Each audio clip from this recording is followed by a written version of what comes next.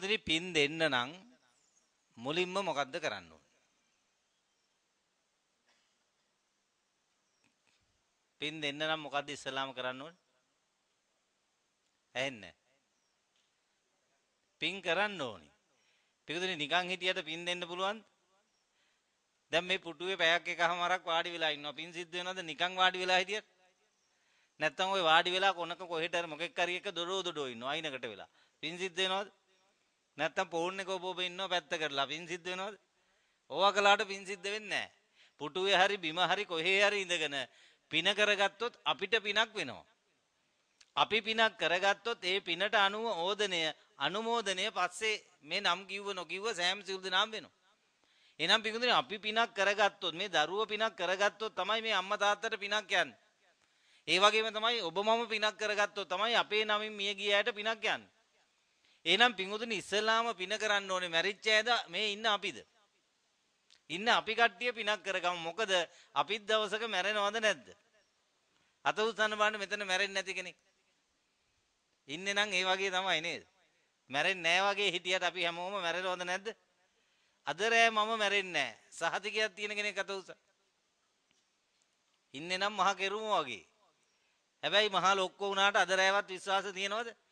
පින්වතුනි එහෙනම් මැරෙන සියලු දෙනාටම පින ඕනි වෙනවා. මොකද පිනක් කරගෙන නැත්තම් පින්වතුනි මරලා යන්න වෙන්නේ සතර අපාය.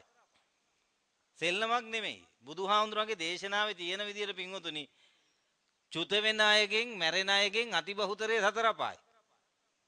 මනුස්ස ජුති සූත්‍රයක බුදුහාමුදුරු දේශනා කරනවා නියපිටට පස් ටිකක් අරන් පෙන්න ළමහණෙනි මේ මහ පොළොවේ පස් වලට පස්ද වැඩි නියපිට පස්ද වැඩි කියලා ප්‍රශ්නයක් අහනවා. නියපිටට පස් ටිකක් අරන් අහනවා බුදුහාමුදුරු භාගතුන් වහන්සේ මහාන මේ මහණෙනි මගේ මේ නියපිට පස්ද වැඩි මහ පොළොවේ පස්ද කියලා. දැන් පිටුදුන ඔබෙන් ওই ප්‍රශ්නේ කවුරු හරි ඇහුවොත් ඔබ උත්තරේ මොකද්ද දෙන්නේ? වැඩිය තියෙන්නේ මේ මහ පොළොවේද නියපිටද? පිටුදුන ඔන්න ඔය උත්තරේම හාමුදුරු ටිකක් දෙනවා. අනේ භාගතුන් වහන්සේ ඔබ වහන්සේගේ නියපිට ශ්‍රී හස්තේ තියෙන්නේ හරිම සුවල්පයයි, හරිම චුට්ටයි. මේ මහ පොළොවේ කියන්න බැරි තරම් පස් තියෙනවා කියලා උත්තරයක් දෙනවා. එතකොට භාග්‍යතුන් වහන්සේ දේශනා කරනවා මහණෙනි ඔය වගේම තමයි. මේ මහ පොළොවේ පස්තරමට මිනිස්සු ජීවත් වුණත් ඔය මිනිස්සු කවදා හරි චුත වෙලා සුගතියකට එනවා නම් මගේ නියපිට පස්තරන් ඇති අනිත් උන් ඔක්කොම යන්නේ දුගතියට.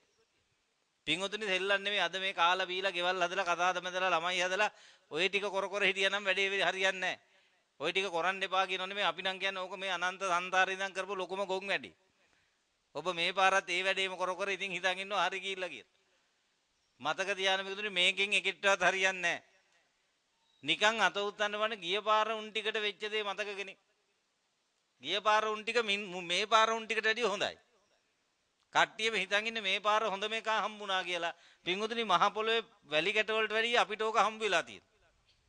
මේ සංසාර ගමනේ පින්වතුනි ඔබයි මමයි මිනිස්සුયો වෙච්ච වාර ගාන මහ පොළොවේ වැලි කැට වලට වැඩි. මේ සංසාර ගමනේ ඔබයි මමයි කතාද බැඳපු වාර ගාන මේ මහ පොළොවේ වැලි කැට වලට වැඩි. මේ සංසාර ගමනේ අපිට හම්බ වෙච්ච ළමයි ගොඩ මේ මහ පොළොවේ වැලි කැට වලට වැඩි. මං අහන්නේ ඒ එකක්වත් එකෙක්වත් අපට හිමි වුණාද අහිමි වුණාද? අත උස්සන්න ගිය පාර උන් ටිකට වෙච්ච දේ මත වැඩි ඈත ඕනේ නැහැ ගිය පාර උන් ටිකට. උන් ඉන්නවද මැරිලාද උන්ට හෙන ගහලාද කියලාවත් දන්නවද? පින්වතුනි බය නැතුව ඉන්න මේ පාර උන් ටිකටත් ඔච්චරයි. ඔබ කොච්චර මහන්සි වුණත් කොච්චර රක්ෂණ කළත් පෝෂණ කළත් මොන කැටයන් දැම්මත් කැඩෙන දාට කැඩෙනවා බිඳෙන දාට බිඳෙනවා ලෙඩ වෙනේ උන් ලෙඩ වෙනවා මැරෙනේ උන් මැරෙනවා එහෙනම් මෙන්න මේ වගේ අනාථ සංසාර ගමනක මට හොඳ එකක් හම්බුණා කියලා ඔබයි මමයි රැවටිලා ගියා. හැබැයි එකෙක්ටවත් හොඳ එකක් හම්බුණාද? එහෙනම් අනන්ත සංසාරේ හම්බුනේත් නැහැ. මේ මොහොතේ හම්බෙලා මේ පාර හම්බෙලාවක් තියෙනවද? මේ පාර හම්බුණාද කාටවත්? පින්වතුනි ඊළඟට එන කෝල් එක ඔය හොඳම එක කැඩුනා බිඳුනා මැරුණා කියලා නරක මූසල ආරංචිය එන්න පුළුවන්ද බැරිද? ඊළඟට එන කෝල් එකෙන් ඔය ආරංචිය එන්න පුළුවන්ද බැරිද? ඇහෙන්නේ නැහැ. පුළුවන් නම් ෆෝන් ටික සද්ද නොකර තියාගන්න. පුළුවන් නම් ඕෆ් කළත් කමන්නේ මොකද ඔය කෝල් එක ආවොත් අනිත් අයට බන අහන්න වෙන්නේ නැහැ. දැන් බලන්න පිටුදින අපි දිනලගේ මොකද මටත් එහෙම කෝල් එකක් ඇවිල්ලා තිනවා මම ඒකයි කියන්නේ. මම ඔය අනුරාධපුර පැත්තේ කැබිතිගොල්ල අය බණක් කියලා එනකොට මේ ගිරිඋල්ල පැත්තේ පන්සලට වඩින අලුත්ගම වඩිනකොට මගදී කෝල් එකක් එනවා. රෑ 11ට 12ට. කෝල් එකෙන් කියන්නේ හාමුදුරනේ මල්ලි නැති වුණා. ඒ කෝල් එක අද ඔබට එන්න බැරිද? මල්ලි හරි නෝනා හරි මහත්තයා හරි ළමයා හරි මොකා හරි ඔබ වැඩිපුර ජීවිතේ ආදර කරන කෙනාගේ මරණේ ආරංචිය ඊළඟට එන්න පුළුවන්ද බැරිද? පින්වතුනි බලන්න ඔබ ඉන්න තැන ඔබ මැරෙන්නත් පුළුවන් අද රෑ. ඔබේ හොඳ මේක කැඩිලා විදිලා මැරෙන්නත් පුළුවන් අද රෑ. එහෙම වුණොත් පින්වතුනි මේ වැඩපිළිවෙල අපි කොච්චර හොඳයි කිව්වා වටිනවා කිව්වා මොන පම්පෝරි ගැහුවත් අපි ඉන්නේ හොඳ තැනකද භයානක තැනකද? පින්වතුනි මැරෙනකොට සෝතාපන්න මාර්ගවත් නැත්නම් එයාට 199ක් හේතු තියෙන සතර පායට. අන්න ඒකයි මම කිව්වේ පිනක් කරගන්න මේ පාර නැත්නම් ඔක්කොටම අනණ්ඩයි වෙන්නේ. මට කියන්න තියෙන්නේ පව් කියලයි. පින්වතුනි පින කියන්නේ පිනවනවා කියන එක. පිනවන්න පුළුවන් වැඩක් කරගන්න පින්වතුනි අද පින කියලා හිතන් ඉන්නේ මොකද්ද? උගේ මූණකට හොඳ නම් හම්බ වෙච්ච නෝනා හොඳ නම් ළමයා හොඳ නම් ගෑණි හොඳ නම් ওই වාහනේ හොඳ නම් ගේ හොඳ නම් ඔය ටික බල්ලා යාට පින්වන්තයා කියලා කියනවා. පින්වතුනි එයා ඔය ටිකෙන් නෙමෙයිද විඳවන්නේ. පින්වතුනි පින කියන්නේ පිනවන ඒවා, පව කියන්නේ විඳවන ඒවා. අපි පින්වතුනි මේ මනුස්සයෙක් වෙලා ඉපදුනාට පිනකින් මනුස්සයෙක් වෙලා කිව්ව කියලා කෑගගා හිටියට අපි මේකේ වැඩි හරියක් කරන්නේ පිනෝන එකද විඳෝන එකද? මම දන්නේ ඔබ ගැන. ඔබට වෙච්ච දේ කියන්න. ඔබ මේ ජීවිතේ වැඩි හරියක් මූණ දීලා තියෙන්නේ පිනවන ඒවටද විඳෝන ඒවටද? එකක් දෙකක් පිනවනවා 1000ක් 2000ක් විඳෝ විඳෝ විඳලා මැරිලා යනවා. මැරිලා ගිහිල්ලා යන්න තියෙන දුගතියකට පව් කියලා හිතෙන්නේ නැද්ද? පින්වතුනි දෙල්ලමක් නෙමෙයි බුදුහාමුදුරු බොරු කියනවද? බුදුහාමුදුරුව අපිව බය කරනවද? බුදුහාමුදුරුව අපිව රවට්ටනවද? එහෙනම් උන්වහන්සේ මනුස්සචුති සූත්‍රයේදී දේශනා කරපු එක වෙනවද නැද්ද? දැන් මෙතන සතර පා යන්න කැමති අය අත උස්සන්න බෑ. ඒක වෙනව නම් දැන් සතර පා යන්න කැමති අය කට්ටිය අත උස්සන්න. දැන් ඕකට කවුරුත් අත උස්සයිද? ඊළඟට හොඳ හොඳ බල්ලෙක් වෙන්න හිතන් ඉන්නේ අත උස්සන්න. හොඳ හරකෙක් වෙන්න පෙරේතෙක් වෙන්න ඕකට එකෙක්වත් උස්සන්නේ නැහැ. දෙයියෙක් කිව්වනම් පටගාලා උස්සනවා. හැමෝම දෙයියෙක් වෙන්න ආසයි. හැබැයි දෙවි වැඩ කරන්න ආස නැහැ. බල්ලෙක් වෙන්න අකමැති. හැබැයි බලු වැඩේට කැමති. හරකෙක් වෙන්න අකමැති. හරක් වැඩ කරන්න කැමති. පෙරේතෙක් වෙන්න අකමැති වුණාට පෙරේත වෙන්න කැමති. පින්වතුනි පරිස්සම් වෙන්න. මේ පාර ළමයට පෙරේත වුණත් ඇති මල පෙරේතෙක් වෙන්න. ළමයි හින්දා මල පෙරේතයෝ වෙච්ච අම්මලා තාත්තලා ආච්චිලා සීයලා දුසිංගනම් අපිට හම්බ වෙලා තියෙනවා මේ පැවිදි ජීවිතේ. උන් මැරිලා ආපහු ළමයින්ගේ ඇඟවල වලටම ඇවිල්ලා. කවුරුත් ඕකට අත උස්සලා නැහැ පිංගුතු. මං අද උන්නම් ඔබට පරීක්ෂණයක් කරන් කියන්නම් ගෙදර ගිහිල්ලා කරන්න. ගෙදර ගිහිල්ලා හැමෝම ගෙදර ඉන්න හරි අල්ලපු ගෙදර හරි පාරේ ඉන්න හරි බල්ලෙක් හොයාගන්න. ඔය මොකක් හරි උඩ පොඩි කෑමක් දුන්නාම බල්ලෙක් හොයාගන්න පුළුවන් යාළු කරගන්න පුළුවන්. ඔන්න ඔය කෑම ටික දීලා පොඩ්ඩක් මූ ළඟට අරගෙන පුගේ පොඩ්ඩක් ඔලුව අත ගාලා බල්ලෝ තෝ කැමැත්තෙන් බල්ලෙක් වෙච්ච එකද කියලා පොඩ්ඩක් අහලා බලන්න. මුගෙන් ඔය ප්‍රශ්නේ අහුවොත් මූට කතා කරන්න පුළුවන් නම් උත්තරේ ඔව් කියයිද නෑ කියයිද? ඔව් කියනවද නෑ කියනවද? පින්වතුනි ඌත් කියන්නේ නෑ කියලා එහෙනම් ඌත් එදා මනුස්ස ලෝකෙදී අත උස්සපෙකෙද? එදා ඌ බල්ලෙක් වෙන්න ආසයි කියලා අත උස්සපෙකෙද? නැහැ පින්වතුනි හේතුවට අනුව ඵලය කිව්වේ ඒකයි. කලේ බලු වැඩ නම් බල්ලෙක් වෙන්න වෙනවා. කලේ පෙරේත වැඩ නම් පෙරේතෙක් වෙන හේතුවට අනුව ඵලය ලැබෙනවා කිව්වේ ඒකයි. පටිච්ච සමුප්පාදය කිව්වේ ඒකයි. පටිච්ච වෙන්නේ මොන ආකාරයකට දීට සමානව උපද්දනවා. පටි ඉච්ඡ සම උප්පාද පටිච්ච සමුප්පාද. එහෙනම් බෑ බෑ බෑ නෑ කිව්වට හරියන්නේ නෑ. මෙතන පිංගුතුනි මම බය නැතුව කියනවා අද මේ කෝටි දහහක් නෑ මේ පෘථුවි. ඕකෙන් එක 5000ක් බේරෙන්නේ නෑ. හොඳට පරිස්සම් වෙන්න. පින්වතුනි අපි මේ බෞද්ධ බෞද්ධ කිය කී හිටියට මෙතන ඉන්නවද නියම බෞද්ධයෝ? නියම බෞද්ධයෝ කියන්නේ පින්වතුනි උප්පැන්නෙන් බෞද්ධ වෙච්ච උන්ටද? පින්වතුනි සතර අපායෙන් මිදිච්ච කෙනෙක්ටයි නියම බෞද්ධය කියන්නේ. යදිදං චත්තාරි පුරිස යුගානි අට්ට පුරිස පුද්ගලා ඒස භගවතෝ ශ්‍රාවක සංඝෝ. ඔතන සංඝ කිව්වේ මේ හාමුදුරුවෝ ටික මේ මෙහෙණිවරු ටික නෙමෙයි. සංඝ කිව්වේ පිඟුතුනේ මේ ඔක්කොම එකතුවට භික්ෂු භික්ෂුණී උපාසක උපාසිකා කියලා සිව්වනක් පිරිසක් තියෙනවා අඩුම ගානේ සෝතාපන්න මාර්ගයේ අට්ට පුරිස පුද්ගලා ඔය මාර්ගේ හරි ඉන්න ඕනේ. එහෙම නැති උන්ට කියන්නේ පෘතජ්ජනයෝ. දැන් අපි හිතන් ඉන්නවා උප්පැන්නේ ගහගෙන බෞද්ධ කියලා අපි තරම් බෞද්ධයෝ නෑ කිය. පින්වතුනි උප්පැන්නෙන් බෞද්ධකම හොයනවා නම් සිදුවත් කුමාරයාගේ උප්පැන්නයක් තිබුණා නම් ඒකේ තියෙන බෞද්ධද අබෞද්ධද? සිදුවත් කුමාරයාගේ උප්පැන්නේ තියෙන්න ඕනේ හරිනම් බෞද්ධයෙක් කියලාද බමුණෙක් කියලා. බමුණෙක්. උන්වහන්සේට නම් තියන්න හාමුදුරුවෝ 108ක් ආවේ නැහැ. උන්වහන්සේට නම් තියන්න ආවේ බමුණු 108ක් උපතින් බමුණෙක් වෙලා. එදා බුද්ධ ශාසනයක් නැති කාලේ අවුරුදු 29 දී ගිහිගේ හැරලා ගිහිල්ලා අවුරුදු 35 දී වෙසක් පොය දවසේ මේ සම්බෝධියට පත් වෙච්ච දවසේ පළවෙනි බෞද්ධය බවට පත් වුණා. උන්වහන්සේ බෞද්ධ වෙලා බලනවා කාටද මම බණ කියන්නේ? උන් බණ කියන උන්වහන්සේ දකින්නවා මෙන්න මේ පස්වග මහණුන්ට මට උදව් කරපු අය ඉන්නවා. උන්වහන්සේ පිඟුතුනි මේ බෞද්ධයන් හොයාගෙන බණ කිව්වේ නැහැ. මිනිස්සුන්ට බණ කිව්වා තේරිච්ච අයට බෞද්ධ කිව්වා. සුතවා අරිය ශාවකෝ අසුතවා පෘතජ්ජනෝ.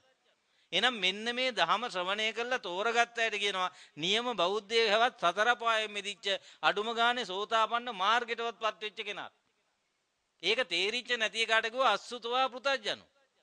මෙන්න මේක අහලා නැති ඉඳා එයාට කිව්ව පෘතජ්ජනෙක් හෙවත් පොතු ජනිතයෙක් සිංහල බෞද්ධ කිව්වත් මුස්ලිම් කිව්වත් හින්දු කිව්වත් ක්‍රිස්තියානි කිව්වත් ඉංග්‍රීසි කිව්වත් ඔය ඔක්කොම කියන්නේ පෘතජ්ජනයෝ පොතු ජනිත කරන උන්ගේ එහෙනම් මෙන්න මේ ලෝකයේ තියෙනවා බෙදීම් දෙකක් එකක් ආර්ය අනිත් එක අනාර්ය. ආර්ය පිරිස කියනවා මෙන්න මේ බුදුහාමුදුරන්ගේ දහම තේරිලා සෝවාන් මාර්ගයේ සෝවාන් ඵලයේ සකු르දාගාමී මාර්ගයේ සකු르දාගාමී ඵලය අනාගාමී මාර්ගයේ අනාගාමී ඵලය අරිහත් මාර්ගයේ අරිහත් ඵලය කියන ඔය අට දෙනා වහන්සේට අයිති නම් අන්න එදාට බෞද්ධ කියනවා ඒ අට දෙනා ඒකාන්තයෙන් සතර පාය නිදහස්ද නැද්ද? පිටුදර ඔතෙන්ට එන්නේ නැතුව සාදු කිව්වට නම් මේ ප්‍රශ්න විසඳෙන්නේ නැහැ. පන්තල් එන්න පුළුවන් මුළු ජීවිතේම පන්තලේ හිටියත් මහාන වෙලා හිටියත් මම කියනවා සතර පායෙන් බේරලා නැහැ දාන නෙමෙයි පිඟුදුනි බුද්ධ දාතනේ ලොකුම දාන දීපු නෝනත් මැරිලා ඊළඟ පාරම සතර අපායි. එහෙනම් හිතන්න එපා ඔය කෑලි පහේ පාත් කට් එකෙන් කොට යන්න. මාසයකට හරි තුන් මාසයකට හරි හය මාසයකට අවුරුද්දකට දරයක් ඕක උත්සාහ කියනවනේ මම මේ පා කියනවා නරකයි කියනවනේ මේ gedara කෑවේ නැතත් බුද්ධ පූජාව තියාගන්න හාමුදුරු කෙනෙක්ට දානයක් බෙදා ගන්න. කවදා හරි ගොඩ යන්නේ ඕකෙන්. හැබැයි ඕක කර කර ඉඳලා මම බෞද්ධ මම සතර අපායන් නිදහස් කියලා හිතන්න එපා. මේ බුද්ධ ශාසනයේ අසදුස මහා දාන දීපු කෝසල මල්ලිකාව. බුදුහාමුදුරුවෝ රහතන් වහන්සේලා 500කුයි වඩම්මලා. බිමට නෙළුම් මල් අතුල්ලා රත්තරන් වලින් වියන් බැඳලා උන්වහන්සේලාට මුතු කුඩ අල්ලන්න ඇත්තු 500ක් තියලා ලොකුම ලොකු දානයක් දුන්නා. ඒ දානේ තමයි ලොකුම දානේ. ඒ වගේ දානයක් ආපහු මේ බුද්ධ ශාසනය දෙන්න බෑ. මොකද ඒ දානේ බාර ගන්න බුදු පියාණන් වහන්සේ වැඩ ඉන්නෝ. එහෙනම් අන්නේ මහා දාන දීපු නෝනට මැරෙන මොහොතේ ඔය දානෙවත් බුදුහාමුදුරුවත් රහතන් වහන්සේලා ටිකවත් මතක්ුන්නේ නැහැ. තරුණ කාලේ කරගත්ත කාම වැඩක් මතක් වෙලා මැරිලා යනවා නිරේට. සෙල්ලම් නෙමෙයි පිඟුතු. ලොකුම දාන දීපු නෝනත් හතර අපායි. මේ බුද්ධ දාසනයේ වැඩිම වැඳපු කෙනා කොසල් රජුරු. බුදුහාමුදුරන්ට පුදුම ආදරයක් තියෙන. බුදුහාමුදුරන්ගේ නම මතක් කරනකොට සාදුකාර දෙනවා. කෑම කාලා අත බියදදා දුවන්නේ බුදුහාමුදුරුව බලන්න. කෝසල සංයුත්තය කියලා කොසල් රජුරවන්ටම කියපු වෙනම බණ ටිකක් සංයුත්ත නිකායේ තියෙනවා. පින්වතුනි දවසට හත්තට සැරයක් බිම ගිහිල්ලා බිම දිගා වෙලා බුදු පියාණන් වහන්සේගේ සිරිපතුල් ඉඹ ඉඹ වඳින්නේ. සිරිපතුල් දෙක අත ගන්නවා ඉඹිනවා දන ගහගෙන බඩ ගාගෙන කෑ ගහනවා මගේ බුදුහාමුදුරුවෝ මගේ බුදුහාමුදුරුවෝ. ඔහොමයි වැඳලා තියෙන්නේ. කොසල් රජුරුව මැරෙන්නේත් බුදුහාමුදුරන්ට වැඳලා යන ගමන් මගදී මැරිලා සුගතියකවත් නැහැ. දැන් හිතනවාද අපේ මේ අපි මේ මල් ටික තියලා ගිලම්පතකට තියලා හඳුන් කූර ගහලා පත්ත උස්සක වැන්දට මේ ප්‍රශ්නේ උස්ස බේර ගන්න පුළුවන් කියලා. ජීවමාන බුදු පියාණන් වහන්සේට වැඳලා යන ගමන් මැරිච් එකත් අතර පායෙන් බේරුන්නේ නැහැ. වැඳිය යුතුයමයි. පිළිමයක් ගන්න සල්ලි නැත්නම් වැලි ගොඩක් ගහගෙන වඳින්න බුදුහාමුදුර කියලා හිතාගෙන කවදා හරි වේරේ. මම මේ එපා කිව්ව නෙමේ. හැබැයි ඕක නෙමෙයි බෞද්ධ වැඩේ පිටින් තව එහා බෞද්ධ වැඩේ තියෙන. ඔය වැඩේ කවදා හරි කරපු අය නියම බෞද්ධය වෙනවා. පින්වතුනි දඹදිව ඉපදිලා. දඹදිව දැකලා. දඹදිව වැඳලා. දඹදිව හදලා. දුවයි පුතයි මුණුබුරයි රහත් වෙලා තුන්වෙනි ධර්ම සංගායනාවට රාජ්‍ය අනුග්‍රහය දීලා. අශෝක රජුරු මැරිලා කොහෙද ඉපදුනේ? මට කියන්නකෝ. දන්නවනේ පන්සල් වෙහෙර විහාර 84000ක් හදලා. දමදිව හැදුවේ නැද්ද එතකොට? ඔය එතුමා හදපු ටික තමයි අදටත් තියෙන්නේ. අපි ගිහින් වඳින්නේ. එහෙනම් දඹදිව හදපු එකා මැරිලා කොහෙද ඉපදුනේ? තිරිසන් ලෝකේ. පිඹුරෙක් වෙලා ඉපදුනේ.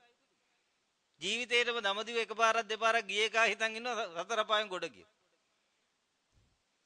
දඹදිව ඉපදිලා වැඳලා හදලා දැකලා ඔය ඔක්කොම කළා. දරුවෝ තුන්දෙනෙක් රහත් වෙලා පවුලේ. දුවයි පුතයි මොනුබුරයි රහත්. දැන් එච්චර වෙච්ච කෙනාට පුළුවන් වුණාද බේරෙන්න? පුළුවන් වුණාද බැරි වුණාද?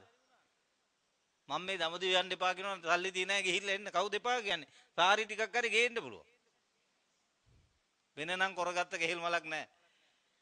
පින්වතුනි වැන්ද වඳින්න කිව්වේ කොන්ද නමන එකට නම් නෙමෙයි. කොන්ද නමනවා බල්ලොත්. බල්ලෝ අඳිනවා දැකලා තියෙනවද? හරක් පඳිනවා දැකලා තියෙනවද?